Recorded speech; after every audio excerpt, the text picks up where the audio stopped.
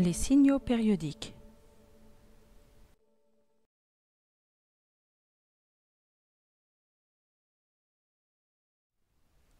Un phénomène périodique est un phénomène qui se reproduit identique à lui-même au bout d'un intervalle de temps régulier. Voici quelques exemples de phénomènes périodiques. Les battements du cœur, les saisons, l'alternance des jours et des nuits, et les oscillations du balancier de l'horloge par exemple.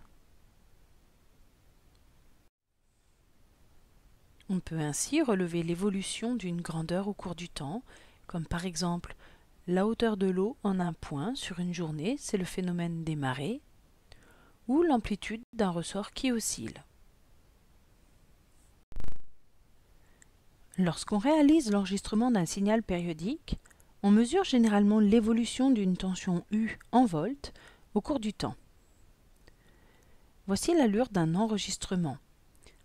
Sur l'axe des ordonnées, on mesure une tension en volts.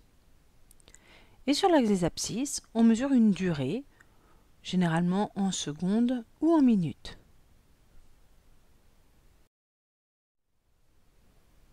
Prenons des exemples. Voici l'enregistrement d'un électrocardiogramme. Cet électrocardiogramme enregistre les battements du cœur. Voici l'allure de l'ECG, l'électrocardiogramme. Sur ce deuxième exemple, on va mesurer un électroencéphalogramme qui mesure les ondes alpha qui caractérisent un état de repos sensoriel et mental total.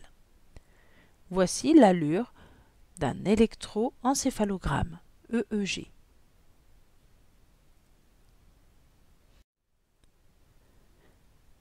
Pour un signal périodique, un même motif se répète à intervalles de temps réguliers.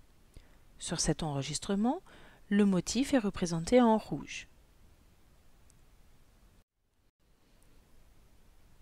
Voici d'autres exemples. Sur l'électrocardiogramme et l'électroencéphalogramme, le motif est représenté en rouge. C'est un motif qui se répète identique à lui-même au cours du temps.